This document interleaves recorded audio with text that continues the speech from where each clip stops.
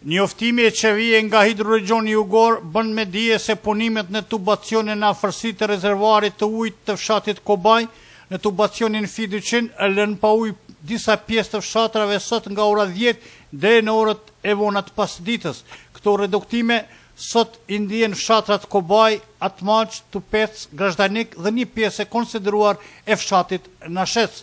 Zëdhënësja e kësaj kompanie, Verie Krasniqi Ibrahimi pohon se brenda ditës së sotme pritet që furnizimi me ujë të rikthehet në fshatrat e përmendura.